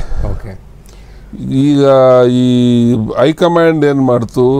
ಯಾರು ಆಕಾಂಕ್ಷಿ ಇಂಟ್ರೆಸ್ಟ್ ಇದ್ದರೆ ಅವರು ಮೊದಲು ಏನಾಗೋದು ಕೆಳಗಿಂದ ರೆಕಮೆಂಡ್ ಆಗಿ ಹೋಗೋದು. ಇದೇ ಫಸ್ಟ್ ಟೈಮು ಸ್ಟೇಟ್ ಹೈಕಮಾಂಡೇ ಯಾರಿಗೆ ಇಂಟ್ರೆಸ್ಟ್ ಇದೆ ಅಪ್ಲಿಕೇಶನ್ ಹಾಕಿ ಅಂತ. ನೀವು ಹಾಕಿದ್ದೀರಿ ಈಗ. ಆವಾಗ ನಮ್ಮ ಸುತ್ತಮುತ್ತದವ್ರು ಏನು ಮಾಡಿದ್ರು? ಒಂದು ಸಮಯ ಷಡಾಕ್ಷರಿ ಅವ್ರಿಗೆ ಯಾವುದಾರ ಕಾರಣ ಏಜೋ ಮತ್ತೊಂದು ಕಾರಣದಿಂದ ಏನಾರ ಮಿಸ್ ಮಾಡಿದ್ರೆ ಇನ್ನು ಸಮರ್ಥವಾದ ಕ್ಯಾಂಡಿಡೇಟು ಪಾರ್ಟಿಗಿಲ್ಲ ಇಲ್ದಂಗೆ ಆಗ್ಬಿಡುತ್ತೆ. ಅದಕ್ಕೆ ನೀವು ಹಾಕ್ರಿ ಒಂದು ಸರಿ ಅವ್ರದ್ದೇನಾರ ಮಿಸ್ ಆಗೋದಾದರೆ ನಿಮಗೆ ಕೊಟ್ಟರೆ ನಮಗೆಲ್ಲ ಕೆಲಸ ಮಾಡೋಕ್ಕೆ ಸರಿಯಾಗುತ್ತೆ ಅಂತ. ಅವ್ರ ಜೊತೆ ಇರೋರು ಸೇರಿ ನಮ್ಮ ಬಳಗ ಎಲ್ಲ ನನಗೆ ಹಿಂಸೆ ಮಾಡಿದ್ರು. ಅದಕ್ಕೆ ಅವ್ರು ಬೇಕಾದಂಥವ್ರ ಕೈಲಿ ಹೇಳಿ ಕಳಿಸ್ದೆ ನಾನು ಷಡಾಕ್ಷರಿ ಸಾಹೇಬರಿಗೆ. ಈ ಥರ ಇದೆ. ಓಕೆ ಸಿಕ್ಕರೆ ಎಲ್ಲರೂ ನಾವು ಯಾರಿಗೂ ಏನು ಬಿಡಲ್ಲ ಪಕ್ಷಕ್ಕೆ ಬಂದಿದ್ದೀನಿ ಪಕ್ಷಕ್ಕೆ ದುಡಿತೀವಿ ಅದೇನಿಲ್ಲ. ಒಂದು ಸಮಯ ಅವ್ರಿಗೇನಾರ ಮಿಸ್ ಆಗೋದಾದರೆ ನನಗೆ ಕೊಡಿಸೋವಂಥ ಪರಿಸ್ಥಿತಿ ಆಗಲಿ ಅಂತ ಹೇಳಿ ಹುಡುಗರ ಹಿಂಸೆ ಇದೆ ಅಂತ ಹೇಳಿ ಅದಕ್ಕೆ ಅದರಿಂದ ನನಗೇನು ಬೇರೆ ರೆಸ್ಪಾನ್ಸ್ ಬರಲಿಲ್ಲ. ಇನ್ನು ನಮ್ಮ ಫಾಲೋವರ್ಸ್ದು ಮಾತು ಕೇಳಬೇಕಾಗಿತ್ತು. ಓಕೆ. ಒಂದು ಅಪ್ಲಿಕೇಶನ್ ಹಾಕಿದೆ. ಹಾಕಿದ್ದೀರಿ. ಓಕೆ ಈಗ ಒಂದು ವೇಳೆ ಲೋಕೇಶ್ವರ್ ಅವರನ್ನು ಕಾಂಗ್ರೆಸ್ ಹೈಕಮಾಂಡ್ ರಾಜ್ಯ ನಾಯಕರು ಪರಿಗಣಿಸುವಂಥದ್ದಾದರೆ ತಿಪ್ಪಟೂರು ಕ್ಷೇತ್ರವನ್ನು ಲೋಕೇಶ್ವರ್ ಅವರು ಇಷ್ಟು ವರ್ಷಗಳು ನೋಡಿರೋದು ಒಂದು ವೇಳೆ ಲೋಕೇಶ್ವರ್ ಅವರ ಕೈಗೆ ತಿಪಟೂರು ಕ್ಷೇತ್ರ ಬಂದರೆ ಸೇವೆ ಮಾಡಲಿಕ್ಕೆ ಅಧಿಕೃತವಾಗಿ ಒಬ್ಬ ಜನನಾಯಕನಾಗಿ ಸೇವೆ ಮಾಡಲಿಕ್ಕೆ ಅವಕಾಶ ಸಿಕ್ಕಿದ್ರೆ ಲೋಕೇಶ್ವರ್ ಅವರ ಇಂಟ್ರೆಸ್ಟ್ ಏನು ತಿಪಟೂರು ಬಗ್ಗೆ? ಮೊದಲನೇದಾಗಿ ತಾಲೂಕು, ಅದು ಒಂದು ಕಲ್ಪತರು ನಾಡು ತೆಂಗಿನ ನಾಡು, ಕೊಬ್ಬರಿ ನಾಡು ಈ ಥರದ್ದೆಲ್ಲ ಕಲ್ಪನೆಯಲ್ಲಿದೆ. ಮತ್ತು ತುಮಕೂರು ಜಿಲ್ಲೆಗೆ ಕಲ್ಪತರು ಜಿಲ್ಲೆ ಅಂತ ಕರೆಯೋದೇ ತಿಪ್ಟೂರು ತಿಪ್ಟೂರು ಹೌದು. ಜೊತೆಗೆ ನಾವೆಲ್ಲ ಚಿಕ್ಕ ಹುಡುಗರಿಂದ ನೋಡ್ಕೊಂಬಂದಿದ್ದು ಕಲ್ಪತರು ಕಾಲೇಜು ಅಂತ ಏನು ಪ್ರಾರಂಭ ಆಯಿತು. ಐದು ಜಿಲ್ಲೆಗಳಿಗೆ ಹಾಸನ ಚಿಕ್ಕಮಗಳೂರು ಶಿವಮೊಗ್ಗ ಹೊಸ ಚಿತ್ರದುರ್ಗ ಮತ್ತು ತುಮಕೂರು. ಇಷ್ಟು ಇಷ್ಟೂ ಜಿಲ್ಲೆಗಳಿಗೆ ಒಂದು ಎಜುಕೇಷನ್ ಸೆಂಟರ್ ಆಗಿತ್ತು. ತಿಪ್ಟೂರು ತಾಲೂಕು. ಒಳ್ಳೊಳ್ಳೆ ಪ್ರೊಫೆಸರ್ಸ್ಗಳು ಎಲ್ಲ ಇದರಲ್ಲಿ. ಬೇಕಾದಷ್ಟು ಬುಕ್ಸ್ ಬರೆಯುವಂಥ ಪ್ರೊಫೆಸರ್ಸ್ಗಳು. ಸೊ ಆ ಸಂಸ್ಥೆಗಳಿಂದ ಅದೊಂದು ಎಜುಕೇಷನ್ ಸೆಂಟ್ರ್ ಆಗಿತ್ತು. ನನಗೆ ಅದಕ್ಕಿಂತ ಮೊದಲು ಅದೊಂದು ದೊಡ್ಡ ವ್ಯಾಪಾರ ಸೆಂಟ್ರ್ ಆಗಿತ್ತು. ದಾವಣಗೆರೆ ಬಿಟ್ಟರೆ ಸೆಕೆಂಡ್ ಹೈಯೆಸ್ಟ್ ಟ್ರಾನ್ಸಾಕ್ಷನ್ನು ಕರ್ನಾಟಕದಲ್ಲಿ ಇದ್ದಿದ್ದೆ ತಿಪ್ಟೂರು. Okay first Davanagere. ಆಮೇಲೆ ತಿಪ್ಟೂರು. ಆವತ್ತಿನ ನಾನು ಹೇಳ್ತಾ ಇರೋದು ಎಪ್ಪತ್ತ ಮೂರು ಎಪ್ಪತ್ನಾಲ್ಕು ಸಂದರ್ಭ ಹ್ಮ್, ಹ್ಮ್, ಹ್ಮ್. ಸೊ ಹಾಗಾಗಿ ವ್ಯಾಪಾರೀಕರಣದಲ್ಲೂ ಇದು ತುಂಬ ಪ್ರಬಲವಾದಂಥ ನಗರವಾಗಿ ಬೆಳ್ಕೊಂಬಂದಿತ್ತು. ಅಡ್ಮಿನಿಸ್ಟ್ರೇಷನ್ ಪಾಯಿಂಟಲ್ಲಿ ಐದು ತಾಲೂಕುಗಳ ಒಡೆಯಾಗಿತ್ತದು ತಿಪ್ ತುಮಕೂರು ಡಿಸ್ಟಿಕ್ ಎರಡೇ ಭಾಗ ಇದ್ದಿತ್ತು. ಒಂದು ತುಮಕೂರು ಒಂದು ತಿಪ್ಟೂರು. ಕುಣಗಲ್ಲು ತುರುವೇಕೆರೆ ಗುಬ್ಬಿ ಚಿಕ್ಕನಾಯಕನಲ್ಲಿ ತಿಪ್ಟೂರು. ಇಷ್ಟು ಒಂದು ಭಾಗ ಏನಿದೆ ಅದು ತಿಪ್ಟೂರು ಕಂಟ್ರೋಲೇ ಇವತ್ತು ಪೋಸ್ಟಲ್ ಸಬ್ ಡಿವಿಷನ್ ಹೆಡ್ಕ್ವಾರ್ಟರ್ ತಿಪ್ಟೂರೇ ಓಕೆ ತಿಪ್ಟೂರು ಪ್ರಾಮಿನೆನ್ಸ್ ಪ್ರಾಮಿನೆನ್ಸ್ ಇತ್ತು. ಬ್ರಿಟಿಷ್ ಕಾಲದಿಂದ ಹಂಗೆ ಇತ್ತು ಮತ್ತು ಅಲ್ಲಿಗೆಲ್ಲ posting I A S I P S ಆಗ್ತಿದ್ದು ಯಾವ ಕಾಲಕ್ಕೂ. ಕೆ ಎಸ್ ಪಿ ಎಸ್ ಎಲ್ಲ ನಮಗೆ ಬರ್ತಾನೆ ಇರಲಿಲ್ಲ. ಎಲ್ಲ ಹೈ ರೇಂಜ್ ಖಂಡಿತ. ಓಕೆ ಇದು ಒಂದು ವಿಚಾರ.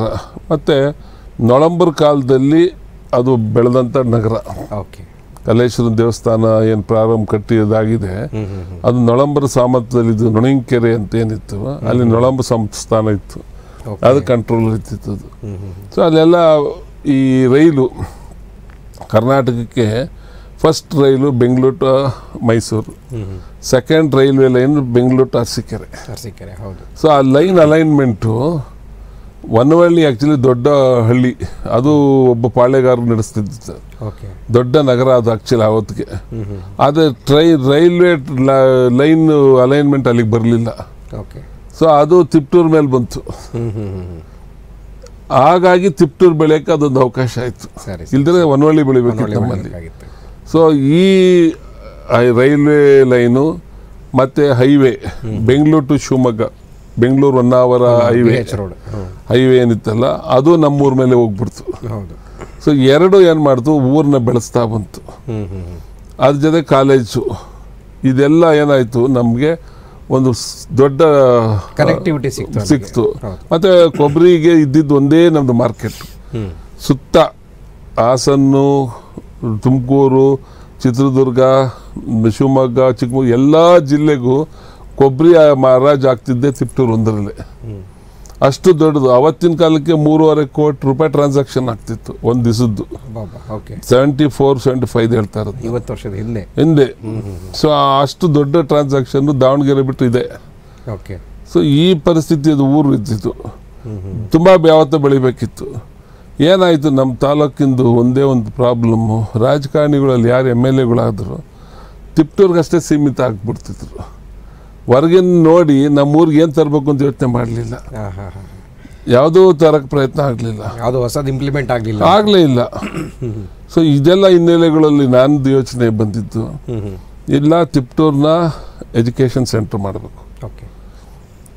ಇಲ್ಲ ಇದನ್ನ ವೆದರ್ ಪಾಯಿಂಟಲ್ಲಿ ಇದು ಅರಮಲ್ನಾಡದು. ಓಕೆ. ನಮ್ಮ ತಿಪ್ಟೂರು ಇದೆ ಅರೆಮಲ್ನಾಡು. ಅತ್ಲಾಗೆ ಹೆವಿ ಮಳೆ ಮತ್ತೊಂದು ಇಲ್ಲ. ಹಸನ ಬಾರ್ಡ್ರು ಮತ್ತೆ ಈ ಕಡೆ ಈ ಕಡೆ ಬಯಲ್ಸೀಮೆ ಸೊ ವೆದರು ಒಂಥರ ಮಾಡ್ರೇಟೆಡ್ ಮಾಡ್ರೇಟ್ ಆಗಿದೆ ಹೌದು. ಸೊ ಮೆಡಿಕಲ್ ಸೆಂಟರ್ ಮಾಡಬೇಕು. ಫೈನ್ ಓಕೆ ಆ ಭಾಗಕ್ಕೆಲ್ಲ ಏನು ಒಂದು ನಾಲ್ಕು ಜಿಲ್ಲೆಗೆ ಎಲ್ಲದಕ್ಕೂ ಇಲ್ಲ ಬೆಂಗಳೂರಿಗೆ ಬರಬೇಕು ಇಲ್ಲ ಶಿವಮೊಗ್ಗ ಹೋಗ್ಬೇಕು ಇಲ್ಲ ಮಂಗಳೂರಿಗೆ ಹೋಗ್ಬೇಕು. ಮಂಗಳೂರು ಹೋಗ್ಬೋದು ಈಗ ಒಂದಷ್ಟು ಹಾಸನ್ ಮೆಡಿಕಲ್ ಕಾಲೇಜ್ ಆದ್ಮೇಲೆ ಹಾಸನ್ ಹೋಗ್ತಾರೆ. ಸೊ ಇದನ್ನ ಮೆಡಿಕಲ್ ಅಬ್ಬಾರ ಮಾಡಬೇಕು. ಇದು ಒಂದು ಕಾನ್ಸೆಪ್ಟ್ ಹ್ಮ್ ಎರಡನೇದು ಜಿಲ್ಲೆ. ಇದು ಡಿಸರ್ವ್ ಯಾವ ಕಾಲದಲ್ಲಿ ಆಗಬೇಕಾಗಿತ್ತು. ಮೂವತ್ತು ವರ್ಷ ಮೂವತ್ತೈದು ವರ್ಷಗಳಿಂದ ಮೆಂಡೆಗಾರರು ವರದಿ ಅಂತ ಒಂದಿದೆ.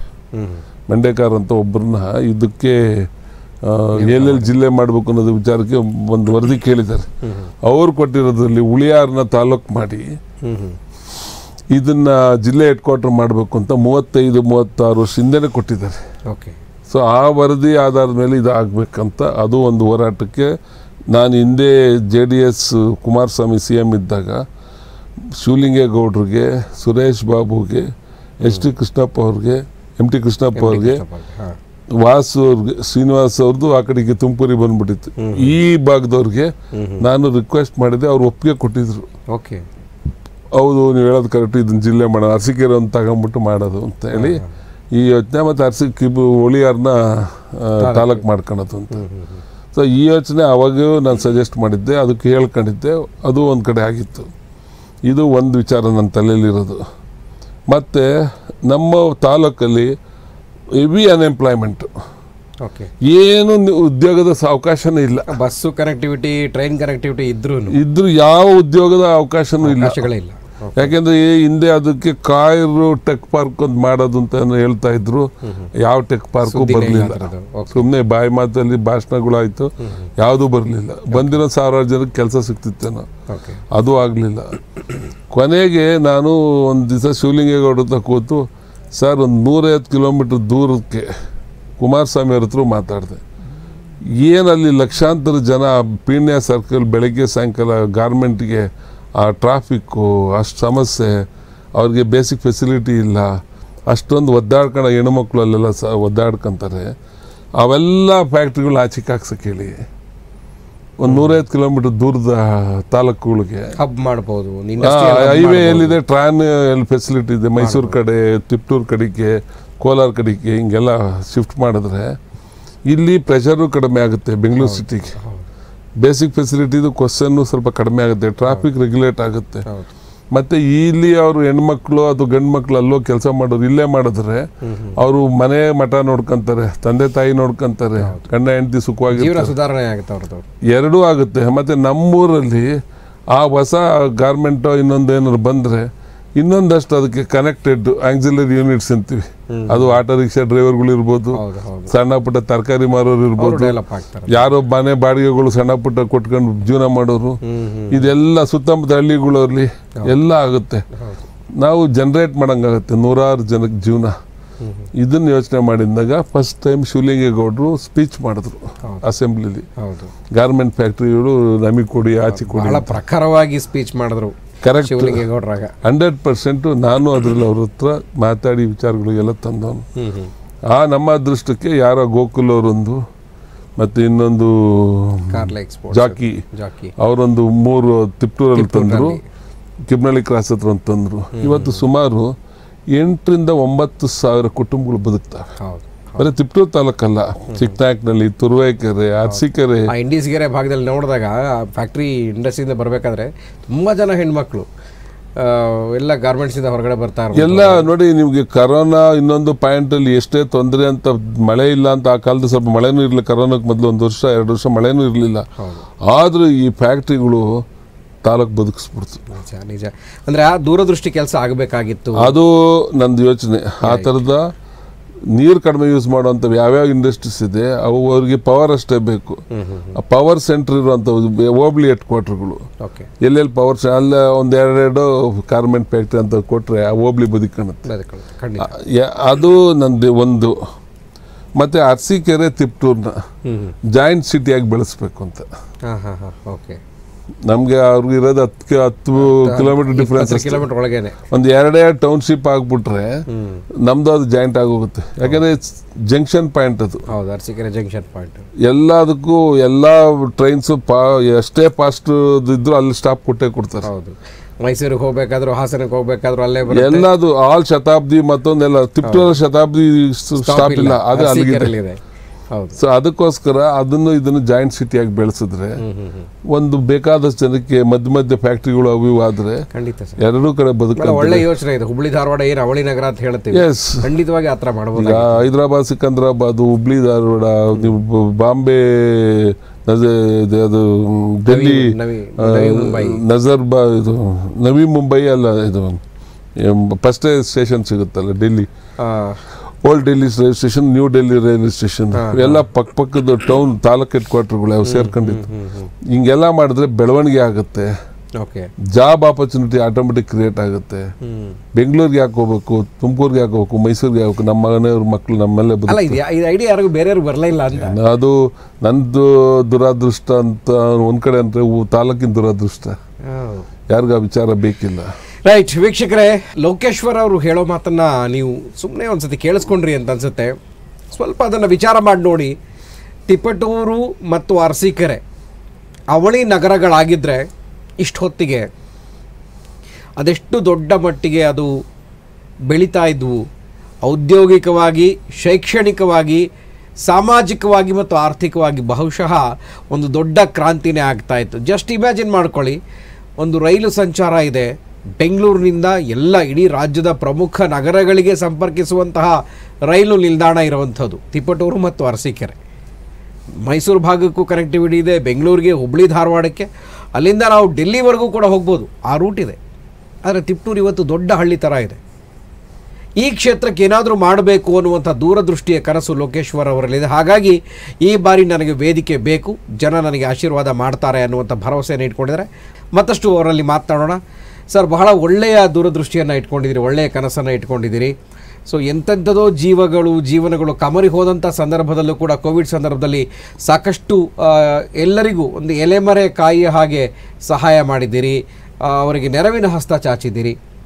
ಒಂದು ನಿಮಗೆ ಅವಕಾಶ ಸಿಕ್ಕಿದಾಗಿದೆ ಅಂತ ಅಂತ ಅಂದ್ಕೊಳ್ಳೋಣ, ಅಥವಾ ಹೈಕಮಾಂಡ್ನ ಒಂದು ಒತ್ತಾಸೆ ಆಗಿರಬಹುದು. ಜನರಿಗೆ ಏನು ಹೇಳೋದಕ್ಕೆ ಇಷ್ಟಪಡ್ತೀರಿ ನೀವು ಅಂತ? ನಾನು ನನ್ನ ತಾಲೂಕು ಜನನ ಯಾವತ್ತೂ ಪ್ರೀತಿಸ್ಕೊಂಡು ಬಂದಿದ್ದೀನಿ. ನನಗೆ ಎರಡು ಸತಿ ಅವರು ಸೋಲು ಕೊಟ್ಟರು ನಾನು ಏನು ಅವರಿಂದ ದೂರ ಉಳ್ಕೊಂಡಿಲ್ಲ. ಓಕೆ.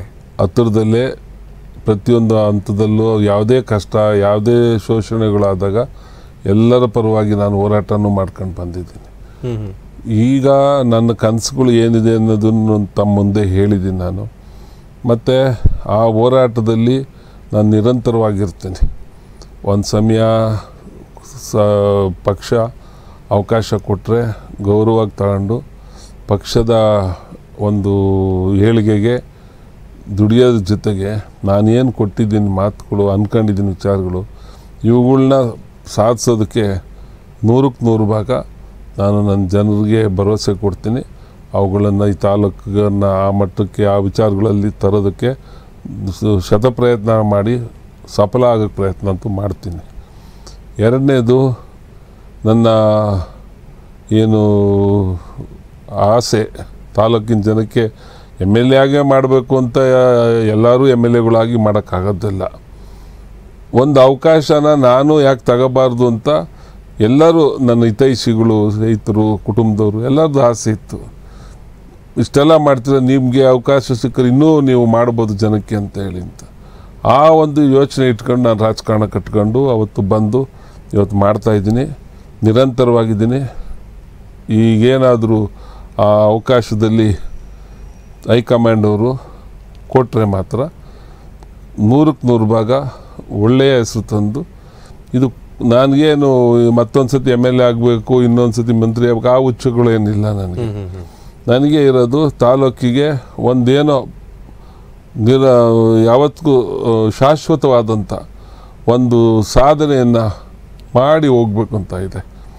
ಆ ಪ್ರಯತ್ನಕ್ಕೆ ನನ್ನ ಜನ ನನ್ನನ್ನು ಬೆಂಬಲಿಸ್ತಾರೆ, ಮತ್ತು ಹೈಕಮಾಂಡು ಸಹ ನನ್ನನ್ನು ಗುರ್ಸೇ ಗುರ್ಸುತ್ತೆ ಅನ್ನೋ ಒಂದು ನಂಬಿಕೆನೂ ಇದೆ ನನಗೆ. ಆ ಸಫಲತೆಯನ್ನು ಮುಂದಿನ ದಿನಗಳಲ್ಲಿ ನಾನು ಕಾಣ್ತೇನೆ ಮತ್ತು ನನ್ನ ಜನಕ್ಕೆ ಕೊಟ್ಟ ಮಾತನ್ನು ನೂರಕ್ಕೆ ನೂರು ಭಾಗ ನಡೆಸ್ಕೊಟ್ಟು ನನ್ನ ತಾಲೂಕನ್ನು ಕಾಪಾಡೋ ಪ್ರಯತ್ನ ಅಂತೂ ಮಾಡ್ತೀನಿ ಓಕೆ. ಸರ್, ಬಹಳ ಒಳ್ಳೆಯ ಯೋಚನೆಗಳನ್ನು, ಆಲೋಚನೆಗಳನ್ನು ಇಟ್ಕೊಂಡಿದ್ದೀರಿ. ಸೊ ಹೈಕಮಾಂಡ್ ಆ, ಏನು ತೀರ್ಮಾನ ಕೈಗೊಳ್ಳುತ್ತೋ ಆದರೆ ನೀವು ಹೇಳಿದ್ದು ಬಹಳ ಒಂದು ಮಾತು ತುಂಬ ಕ್ಯಾಚಿ ಆದಂಥದ್ದು ಮತ್ತು ಮನಸ್ಸಿಗೆ ಹಿಡಿಸುವಂಥದ್ದು. ಎಂ ಎಲ್ ಎ ಆಗೇ ಮಾಡಬೇಕಾಗುವಂಥದ್ದು ಏನಿಲ್ಲ. ಅಂದರೆ ಜನಸೇವೆ ಮಾಡಬೇಕು ಅಂತಂದರೆ ಮನಸ್ಸಲ್ಲಿದ್ದರೆ ಸಾಕು ಅನ್ನೋಂಥದ್ದು ಆದರೆ ಅಧಿಕಾರ ಇದ್ದರೆ ಇನ್ನಷ್ಟು ಹತ್ತಿರಕ್ಕೆ ಅದನ್ನು ಜನರಿಗೆ ತಲುಪಿಸಬಹುದು. ಒಬ್ಬ ಕಟ್ಟ ಕಡೆಯ ಮನೆಗೂ ಕೂಡ ಮನುಷ್ಯನಿಗೆ ತಲುಪಿಸಬಹುದು ಅನ್ನುವಂಥದ್ದು. ನಮ್ಮಲ್ಲಿರುವಂತಹ ಪ್ರತೀತಿ. ಸೊ ಹಾಗಾಗಿ ನೀವು ಆಸೆ ಪಟ್ಟಂತೆ ಅಥವಾ ನಿಮ್ಮ ಕನಸುಗಳು ಈಡೇರಲಿ ಅಂತ ನಾವು ಕೂಡ ಆಶಿಸ್ತೀವಿ ಸರ್. ಥ್ಯಾಂಕ್ ಯು ನಮ್ಮ ಕಾರ್ಯಕ್ರಮಕ್ಕೆ ಬಂದಿದ್ದಕ್ಕೆ ನಿಮ್ಮ ವಿಚಾರಗಳನ್ನು ಮಂಥನ ನಮ್ಮ ಜೊತೆ ಮಾಡಿದ್ದಕ್ಕೆ ಮತ್ತು ನಿಮ್ಮ ದೂರದೃಷ್ಟಿಯನ್ನು ಜನರಿಗೆ ತಿಳಿಸಿದ್ದಕ್ಕೆ ಧನ್ಯವಾದ ಕಾರ್ಯಕ್ರಮಕ್ಕೆ ಬಂದಿದ್ದಕ್ಕೆ. ಥ್ಯಾಂಕ್ ಯು ವೀಕ್ಷಕರೇ ಜನನಾಯಕ ಕಾರ್ಯಕ್ರಮದಲ್ಲಿ ನೀವು ನೋಡಿದ್ದು ಲೋಕೇಶ್ವರ್ ಅವರ ದೂರದೃಷ್ಟಿಯ ಕನಸಿನ ಯೋಜನೆಗಳು ಮತ್ತು ಅವರ ಅಭೀಷ್ಟಗಳನ್ನು. ಸೊ ಇದೆಲ್ಲವೂ ಕೂಡ ಜನಸೇವೆಗೆ, ಕ್ಷೇತ್ರದ ಅಭ್ಯುದಯಕ್ಕಾಗಿ, ಅಭಿವೃದ್ಧಿಗಾಗಿ ಅನ್ನುವಂಥದ್ದು ಲೋಕೇಶ್ವರ್ ಅವರ ಮಾತಾಗಿತ್ತು. ಒಂದು ಅವಕಾಶ ಸಾಕು. ನನಗೆ ಸೌಧ ಕಟ್ಕೊಂಡು ಹೋಗಬೇಕು, ಅಥವಾ ಅಲ್ಲಿಂದ ನಾನು ಮಂತ್ರಿ ಆಗಬೇಕು, ಮುಖ್ಯಮಂತ್ರಿ ಆಗಬೇಕು, ಇನ್ನೇನೋ ಮಾಡಬೇಕು ಅನ್ನೋ ಆಸೆ ಇಲ್ಲ. ಒಂದೇ ಒಂದು ಅವಕಾಶ, ತಿಪಟೂರು ಕ್ಷೇತ್ರವನ್ನು, ಒಂದು ಮಾದರಿ ಕ್ಷೇತ್ರವನ್ನಾಗಿ ಮಾಡಿ ತೋರಿಸ್ತೇನೆ. ಆ ನಿಟ್ಟಿನಲ್ಲಿ ಜನ ನನಗೆ ಆಶೀರ್ವಾದ ಮಾಡಬೇಕು ಅನ್ನುವಂತಹ ಬೇಡಿಕೆಯನ್ನು ನಿಮ್ಮ ಮುಂದೆ ಇಟ್ಟಿದ್ದಾರೆ. ಆಯ್ಕೆ ನಿಮ್ಮದು ಅಂತ ಹೇಳ್ತಾ ಈ ಒಂದು ವಿಶೇಷ ಕಾರ್ಯಕ್ರಮವನ್ನು ಇಲ್ಲಿಗೆ ಮುಗಿಸ್ತಾ ಇದ್ದೀನಿ. ನೋಡ್ತಾ ಇರಿ ಪ್ರಗತಿ ಟಿವಿ ನಿಮ್ಮಿಂದ.